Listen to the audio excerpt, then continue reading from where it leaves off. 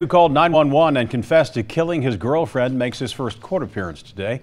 A judge ordered Joseph Smith held on a half million dollar bond on that murder charge. He told a dispatcher he shot 63 year old Diana Yuellig last night at a home on Classic Drive in Blue Ash.